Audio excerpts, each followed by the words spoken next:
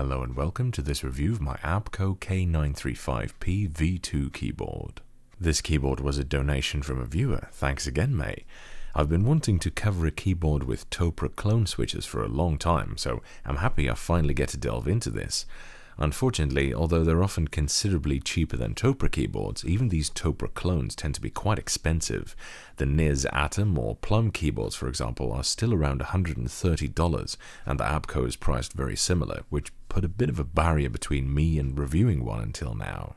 I do have some Topre keyboards to compare it to, thankfully, such as a Realforce and a Type Heaven, and I'll be comparing it to them during the course of this review.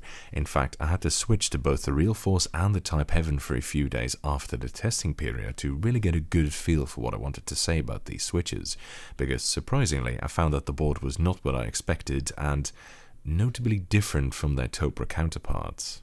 Now, just to be clear on one thing, I'm not 100% sure whether these Topre clones are in fact NiZ switches, as it's not really specified anywhere with any certainty that I could find.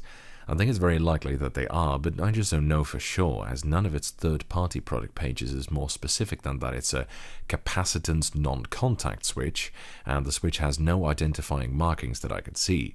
Moreover, ABKO's own site makes no mention of this keyboard or related models at all, neither under their current products nor under their legacy ones.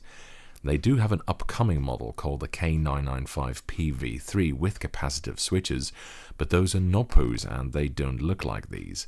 These do look like NiZs though, so I think there's a good chance that they are. So we'll kick off with the key feel straight away. They're weighted very similar to Topre's 45 gram switches, although NiZ at least do do 35 and 55 gram versions. They feel slightly stiffer than the BKE Redux Ultra Light domes, but lighter than BKE Light domes. Their tactility is similar to Topre, but feels more solid or unified somehow. The Topre switches feel like the tactile bump is more distance from the key travel. I can't explain it in a better way, unfortunately. The overall feel is quite similar to Topre's 45 gram switches, but I honestly prefer the ABKO version. They also sound considerably better than Topre. Listen to this.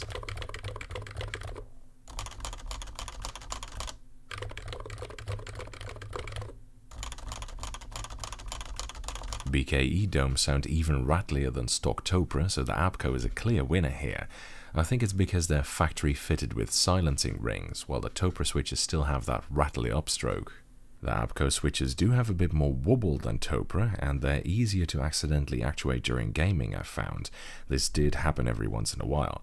It's not as bad as, for example, Cherry MX Red or especially Razer's Libre switches, but it was noticeable. Now, maybe I just subconsciously prefer the ABKOs because the sound is so much better, but I do prefer these switches over Topre overall. They're nice, I like them. The build quality of the board itself is actually very good. It comes with a metal top plate and not one of those flimsy pieces of shit that you see on a lot of budget keyboards, but an honestly quite thick metal unit. I think it's aluminium or aluminum in imperial units. It weighs 870 grams in total, which is not a huge amount, but also not bad for a TKL. There is also almost no flex in the keyboard at all. This is really quite rare. I don't see too many modern keyboards that are this rigid. The keyboard has bezels, albeit not huge ones, and the keys are sunk slightly below the mounting plate. It's somewhere in between normal mounting and the floating switch design.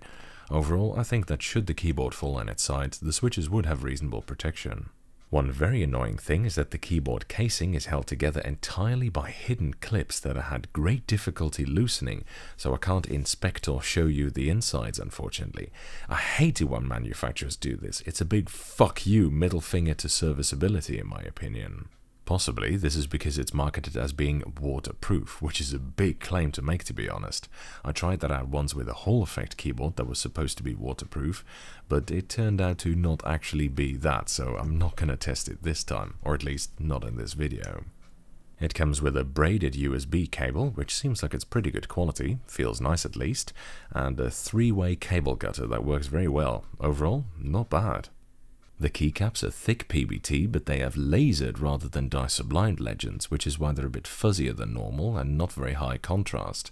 So they're not super high spec or anything, lasered lettering tends to not last very long, but I guess the fact that they're PBT will prolong their lifespan drastically compared to ABS. Also, these keycaps are cherry profile. Woohoo! There were also cherry mount, which I guess is a big advantage for those who want to mess around with custom keycaps. It's funny, I can still remember the days when the Cooler Master Nova Touch was being sold, and people were going nutballs over it because it was Topre with MX mount. Man, feels like ages ago now. The keycaps do have some cool secondary legends though. A lot of them look like box drawing characters, which seems very 80s to be honest, but there are also a bunch of Asian characters in there. Maybe they're Korean composed characters or something, as ABKO is a Korean brand. The board has no backlighting other than near the lock lights, such as this. It's a rare case of functional backlighting. It's overall an okay looking board in my opinion. I'm not sure I like these shapes on the mounting plate to be honest, and I'm too traumatized from having to use a Mac at work all day long to truly appreciate the white and metal color scheme, but admittedly it's a clean, not too showy look, possibly because it's not marketed as a gaming keyboard. Overall, it's a good keyboard, perhaps barring the styling, which I do think is better on the Realforce, I don't see why you'd spend an extra hundred or so on a genuine Topre board, unless you really wanted that variable weighting or one of their adjustable models.